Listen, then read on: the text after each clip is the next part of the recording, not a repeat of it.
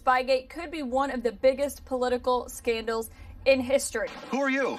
Stefan Halper. You're spies like us. He holds doctorates from Oxford University and Cambridge University.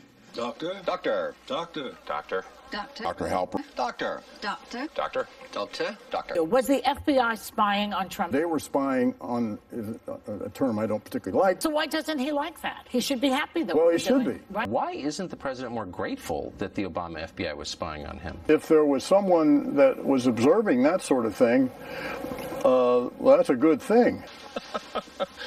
Ah, the American sense of humor. So that that is a lie, and I, No, I it think isn't a lie. You just watch your mouth, mister. I, I'm, I'm sorry. Come on, super spy. Think of something. I was thinking about something else. You're thinking with your dick.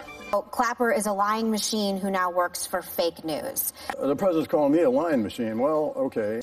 I think a lie. When we talk about a spy, this conjures up images of people that are skulking about in the dark. They were just sitting there in the dark. They heard our entire conversation. There was no one with a stick on mustache sitting in the back of. The Justice Department. The Justice Department.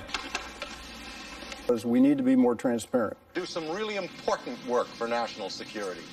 to make sure that what we do is legal, ethical, and moral. What are we going to get? Dismissal, suspension, censure, departmental prosecution, what? The no good deed goes unpunished department. The other's a code breaker with. I I didn't break the code. Stephen Halper. Christopher Steele. But they're spies like us? They're spies, but not necessarily on our side. Stephen Halper. Christopher Steele. There are a couple of absolutely self-involved bullshit artists who got caught. Spygate, that's a scandal. I couldn't agree more. I think you're absolutely right.